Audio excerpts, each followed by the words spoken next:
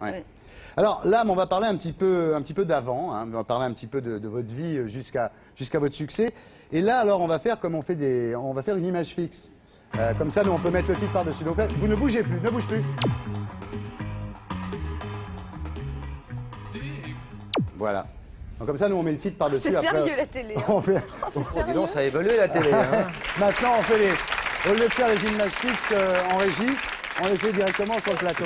Les idées, En revanche, Il y a un truc qui n'a pas changé, il y Ah, a toujours euh, un blaireau le- pour demander d'applaudir et tout le monde Il y a toujours, il y a toujours un blaireau pour demander Laurent, l'applaudir. Laurent Baffy m'a coupé la parole. Vas-y, pardon, Oh. tu disais quoi euh, Non, je veux savoir si toutes ces idées-là. Je crois que t'es tombé sur une chieuse. La hein, plupart, oui, oui, je suis tombé sur une chieuse. T'as raison. je crois que Bah oui, tous mais les bon, jours. hein. peut-être que je vais pas me faire virer. On sait jamais. Bon, Serge, est-ce qu'on peut baisser un petit peu la lumière, s'il te plaît? Merci. Nous voilà tous les deux. Ou presque. Ou presque. Alors, vous avez ça en commun avec des gens comme euh, Nicoletta, ça vous gêne plutôt un petit peu le dos, des gens comme Nicoletta, Jean-Luc Lahaye, euh, euh, Juliette Gréco, Piaf, c'est que vous êtes un- une enfant de la DAS. Mhm. hein. Euh, c'est pour ça que je vous ai appelé tout à l'heure la, la Cendrillon des cités. Ça vous gêne si vous appelez la Cendrillon des Non, cités c'est marrant, c'est bien. Non, c'est marrant, c'est un slogan, quoi. Et alors, euh, quand vous étiez petite, c'est vrai, vous viviez à 7 dans un 15 mètres carrés, ça, je peux... Non, c'est pas possible, ça. Non, 20 mètres carrés. Non, on vivait à 15, non, à 7. Tes fiches sont Enfin bref, pas complètes. euh, j'en ai parlé. sérieusement, Non, sérieusement. Bafi, tu me coupes peu la parole. hein. D'accord Ouais, d'accord. Je te donne Eh. trois jours pour quitter la ville, toi, avec ton chapeau. Non, D'accord.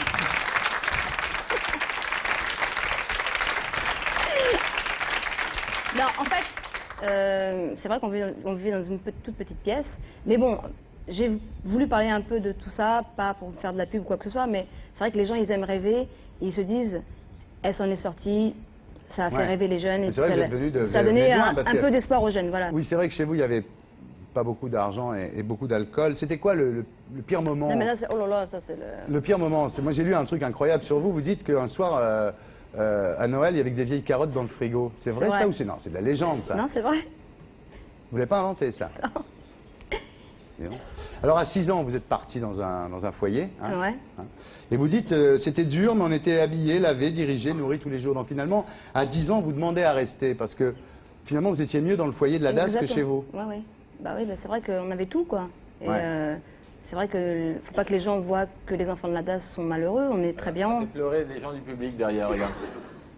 Enfin bref, j'ai voulu en fait en parler ouvertement. Tu allais dire une connerie encore Non, non, non, ouvertement dis, plus rien. Non Attends, euh, Serge, est-ce qu'on peut mosaïquer euh, Laurent Baffy jusqu'à la fin de l'interview de l'âme On le mosaïque et on lui coupe son micro. Merci, continue. Voilà.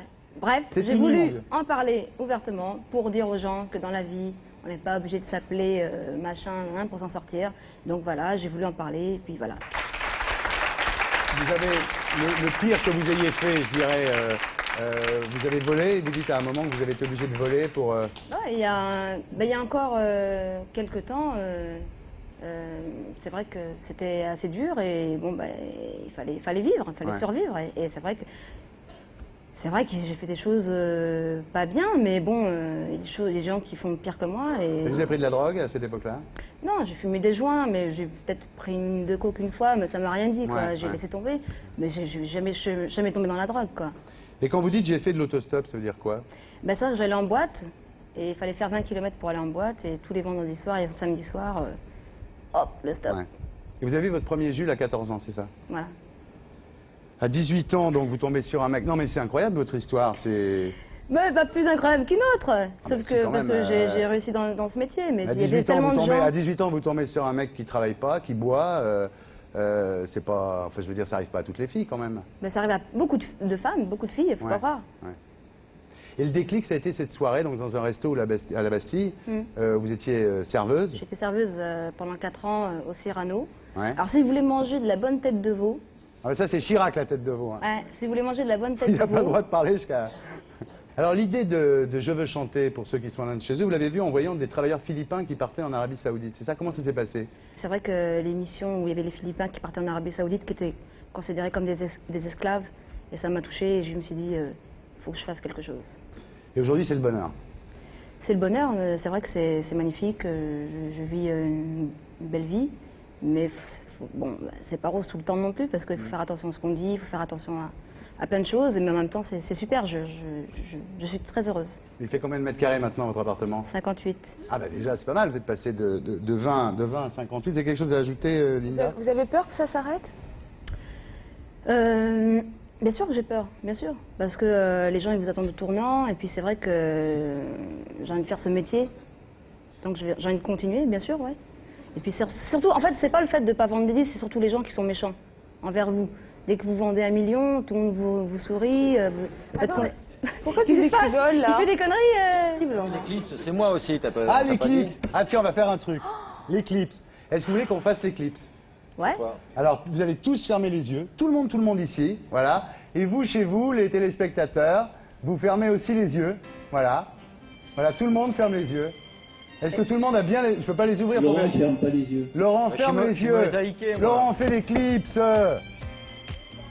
Linda, fer- Non, Laurent, on lui enlève sa mosaïque et on voit qu'il ferme les yeux. Chez vous, est-ce que vous fermez les yeux? Voilà. En fait, une éclipse, si on décidait tous de fermer les yeux en même temps, ça serait une éclipse. Bon, bah écoutez, l'âme. On est intelligent à la télé, hein. On est intelligent. À la télé, ça. Ah ça. On apprend plein de trucs et puis on peut refaire un truc, un phénomène qui se produit tous les 80 ans. Voilà.